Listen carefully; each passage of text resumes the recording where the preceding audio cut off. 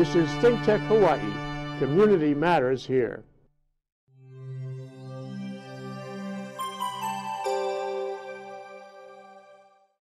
One.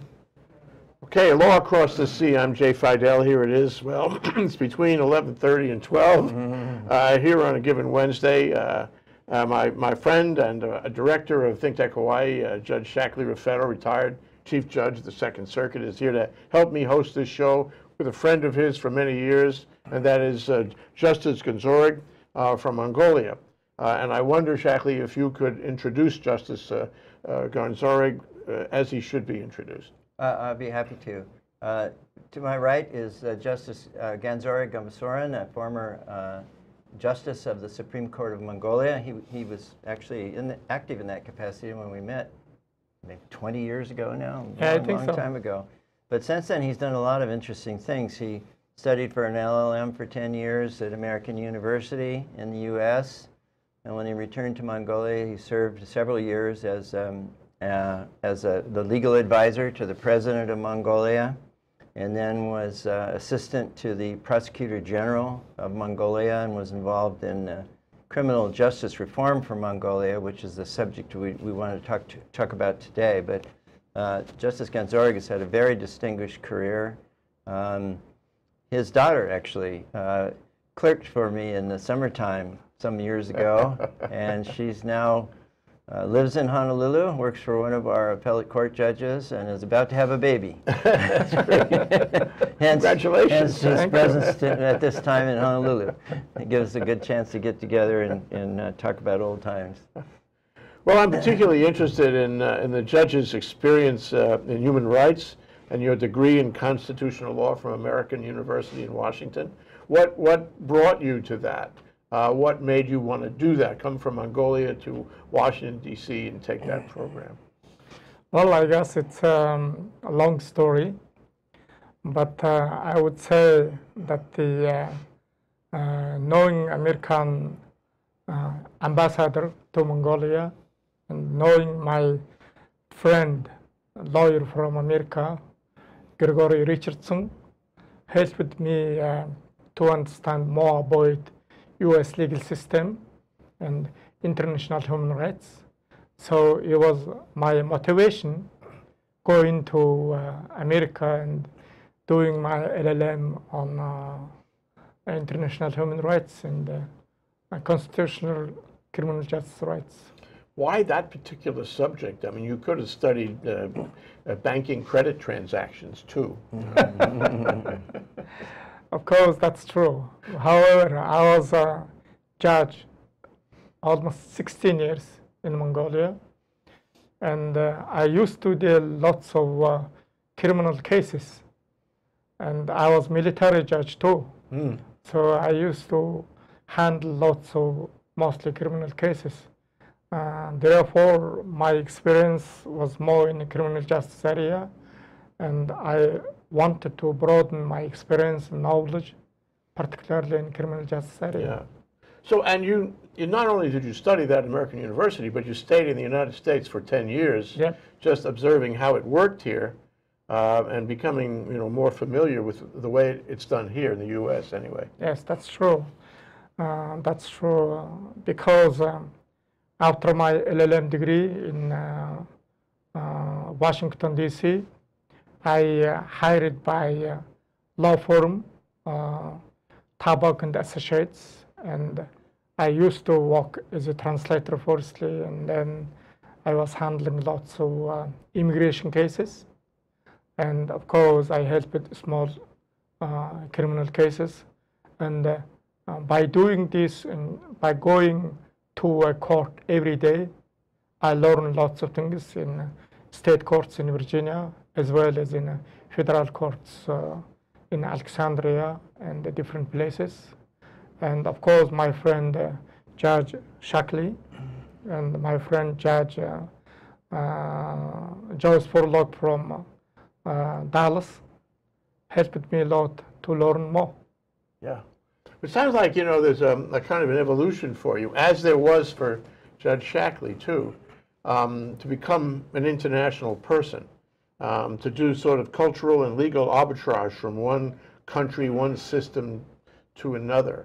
Uh, and let me, you know, intersperse by asking you, Shackley, what you got into that? You are you travel everywhere. You are following um, the development of various areas of law um, in many places, uh, and and speaking and participating in the process in many places. Why? Well, it's, it's very interesting to see how different societies process justice and arrive at justice. You know, the, the, we're most familiar with the common law system.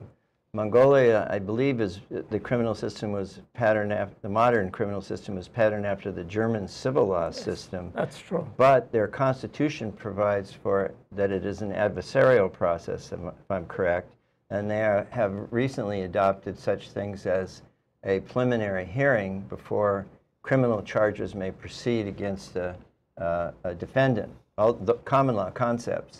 So it's very interesting. To, the, the thing about the common law is it's very practical, and it was it was designed that way. Uh, I don't know if you could say the same thing for the civil law system. I don't know enough about it to really say, but but I know that these devices that that other nations tend to pick up from our common law system are usually because it it's simple and it works and it's practical, like a preliminary hearing.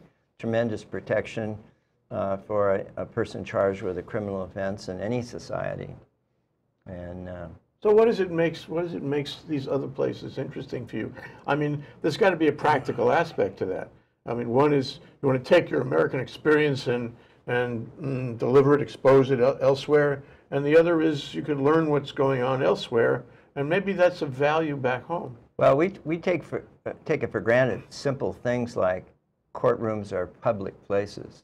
That's not true in China, for instance. You can't just walk into a courtroom and see what's going on.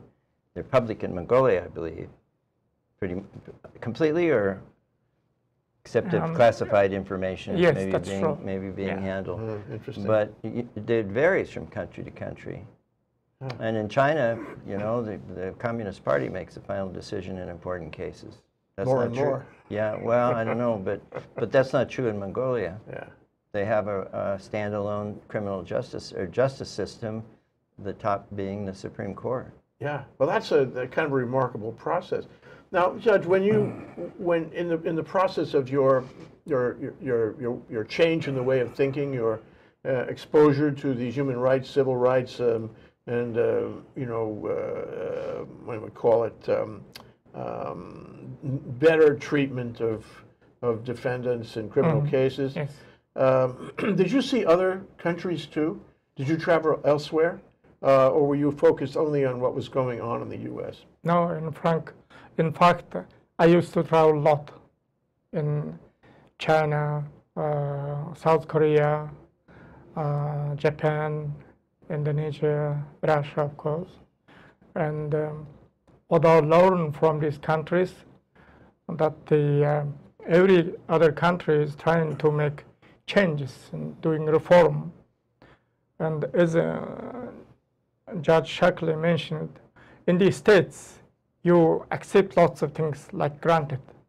But in many other countries, this has been coming to in reality after for long struggle for reform. Yeah, So likewise, Mongolia is doing uh, big uh, criminal justice reform Yeah. and uh, struggling to uh, pay more attention, as you mentioned, on rights of defendant. yeah. So, um, you know, so at some point along the way, while you were in the U.S., I suppose, you decided you wanted to take this back. You wanted to see if you can apply some of the lessons. And The U.S. isn't perfect. It's not perfect. I go on record about that. However, you know, there are positive things, at least in our rule of law, um, that are useful in other countries. And uh, you made a decision that there would be some things that would be useful in Mongolia. What caused you to make that decision? Was it the school? Uh, was it observing the cases that you saw? Was it talking to Shackley Raffetto?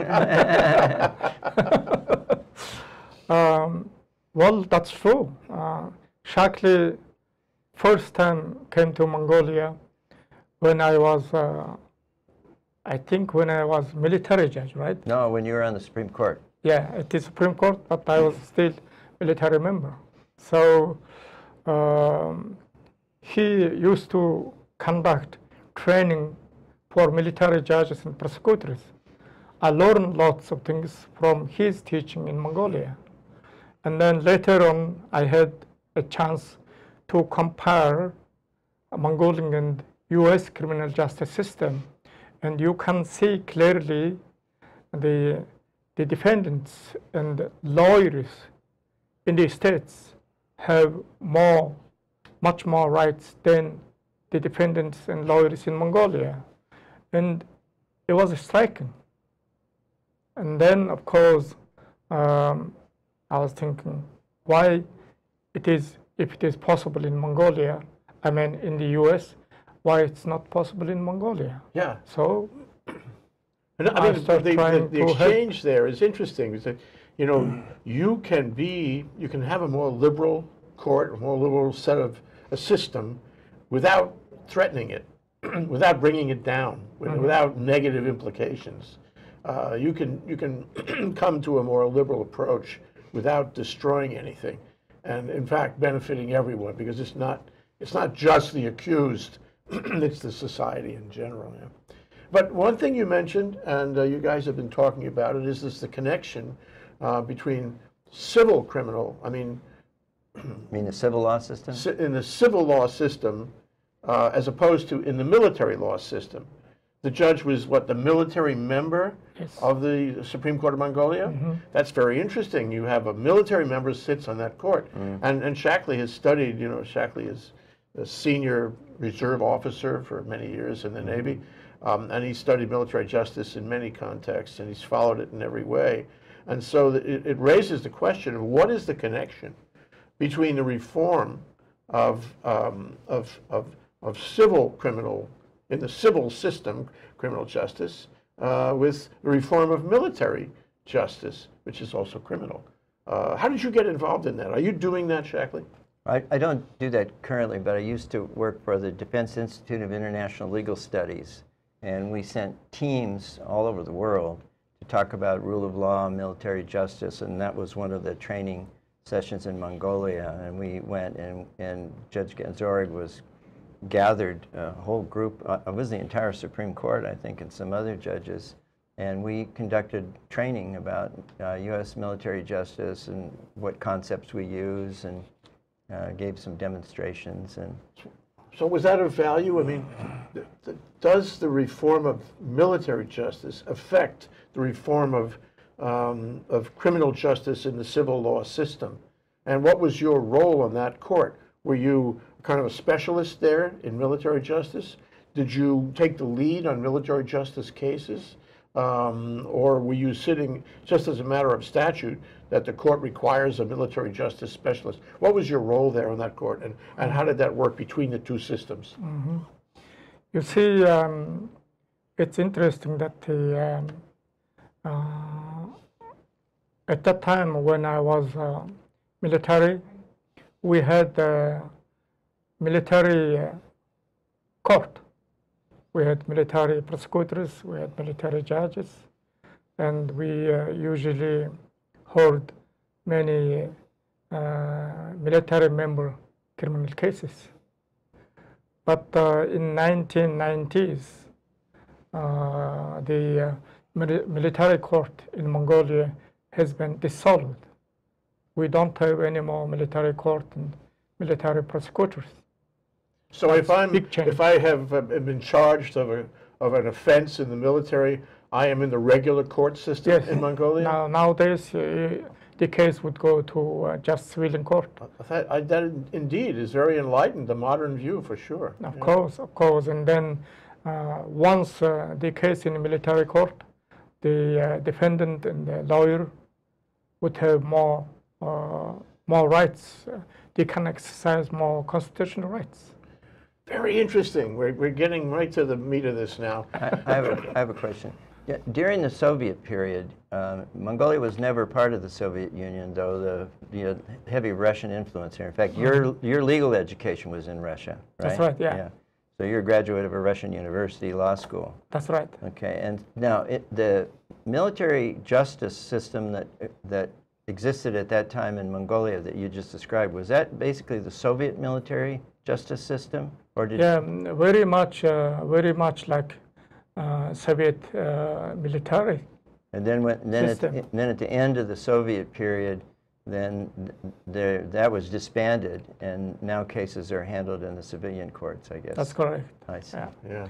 The uh, one thing I mentioned, I wanted to mention that the uh, at that time I was military judge, so Supreme Court has uh, three divisions: military, criminal, and civil divisions. So I was military judge sitting at the Supreme Court uh, as a um, military military uh, court division judge. But we mostly handled criminal cases too. Uh, How many judges were on that court? Are on that court? Um, I think at the time we had 22 judges. Sounds like the Ninth Circuit. yeah. So I only have one more question before the break, Sure. Judge Ganzorig. I pani ma pruska? Uh, what? I pani ma pruska? No. Вы понимаете по-русски? Borovsky, yes, of course, I understand. The question means, do you speak Russian? Ah. We'll be right back after this break. We'll find out about the specific reforms in Mongolia. This is Think Tech Hawaii, raising public awareness.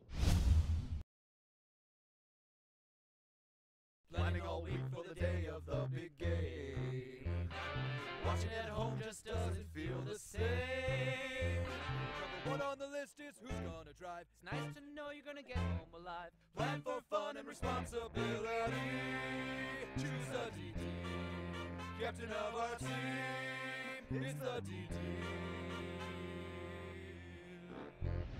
For every game day, assign a designated driver.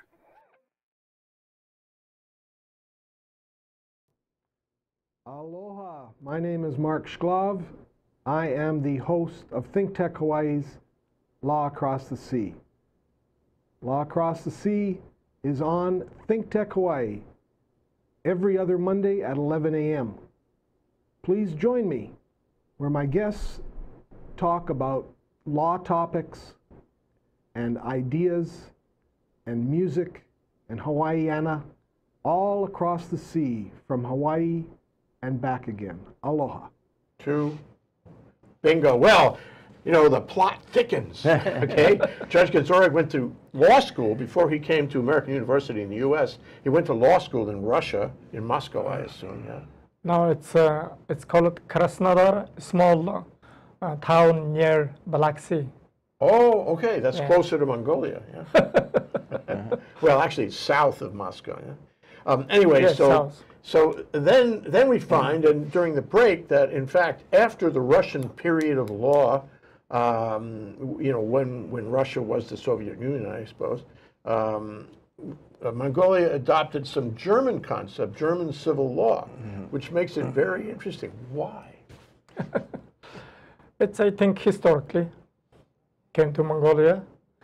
Uh, I believe um, civil law system actually, firstly, Russians adopted from Germany, and then it has been exported to Mongolia, and the Mongolians adopted civil law system from Russia. How that is how it came to Mongolia. So what, what, what is the biggest influence now on the system of law in Mongolia? Well, I think um, I would say um, we trying to make uh, lots of changes and big reform. And uh, currently, I would say Mongolia is not only a civil law system country, but it has also some characteristics from common law, and it's kind of a mixture of civil law and common law system. Yeah. It sounds like you're evolving into a system that is Mongolian. It's your own brand, no? Well, um, uh, Mongolia has a rich history of uh, legal tradition, but still we are trying to pick up what is the best from the two systems, what is the best in civil law system and what is the best in common law system. Many, many good things uh, we can observe in common law system as What a- well. What a great time to be a lawyer and alive and and a former judge in Mongolia now with all of these changes now. Well, uh, it's a fascinating time in Mongolia. It's uh, uh, one of my friend, uh, American lawyer, said, "You're doing lots of things like we did 200 years ago." But actually, rule of law in Mongolia dates back to Genghis Khan when he united Mongolia, That's right? exactly true. And he pr- promulgated the first, I guess it'd be the equivalent of the Hammurabi Code, but in Asia, and uh, and in order to um, regulate and monitor things, trade along the Silk Road and things like that. Well, is it hard to do reform? Is it hard to move the needle ahead? Is it hard to reform the criminal justice system in Mongolia? Is there resistance to that? How hard do you have to work to get changes through? well, um, changing the uh, all things is always difficult.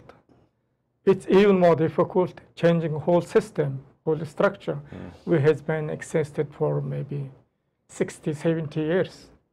So we're going through lots of changes, and of course we have lots of resistance from the uh, uh, old system and uh, uh, from other members of the uh, legal community. But I'm sure it will go through and it will succeed one day. Now, of course, we can't make a revolution overnight. So we're doing still step by step, and uh, so far we had lots of achievements. So you're, you're, you're trying to lead this. You're, you're being the champion for these changes, and you have a, a group of uh, how many lawyers helping you? Well, um, uh, of course, I'm one of the uh, uh, big advocates for human rights and uh, equal rights, uh, constitutional rights.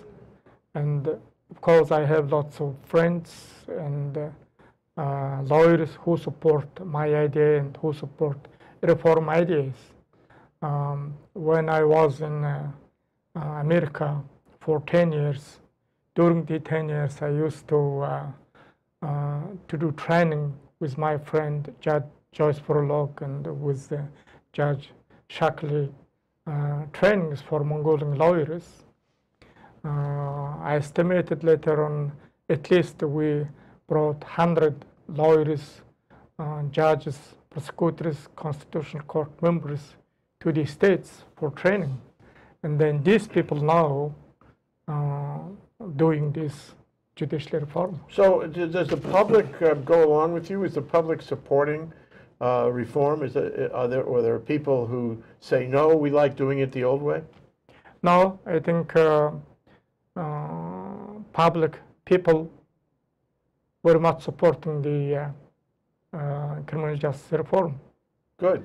Shackley? Oh, I was just going to say, um, what was about five years ago, uh, Justice Ganzorig, when he was with the, the Prosecutor General's office, brought a group of about 10 Mongolian prosecutors over, and uh, we put on To the U.S., here. here to Maui. We put a put on a training. J.D. Kim, our prosecutor over in Maui, put on a, uh, I guess, three or four day training program about how we uh, handle prosecutions, and then we came over and met with the Chief Justice Recktenwald and also uh, the Attorney General, and we were discussing how um, Mongolian prosecutors might be able to work in the future on training issues with uh, Hawaii prosecutors, Hawaii Attorney General's office. That's a great contribution. Well, I wanted to ask you about the specific things, uh, and I have, I have a little list, I have a little list. So, um, I guess uh, one of the things uh, that I, I, I saw was plea bargaining. And, and you have a whole new thing. In, in, the, in, the, in the old day, the, the policeman could make decisions, the prosecutor could make decisions. Uh, there was, it was not a two-party system. The prosecutorial arm of the government would handle it even without courts and judges. That's changing. What, what have you been able to, um, what have been able to, to introduce to that system now? Well, um, the new criminal justice reform uh, coming with two basic laws. One is new criminal code, the other is new criminal procedure code. I can say a few things about the new, uh, for example, uh, the new criminal criminal code uh, abolished death sentence. So that is very important issue for Mongolia's human rights records. And secondly, um, we introduced, for example, the um, preliminary, preliminary hearing. We didn't have preliminary hearing before. Now there's this criminal procedure code. According to this criminal procedure code, we can have preliminary hearing, we can have uh, hearing on guilt issue, and then lastly, we can have separate hearing on sentencing. So that's it, very, very helpful uh, for judges and for defense and defendant. Yeah.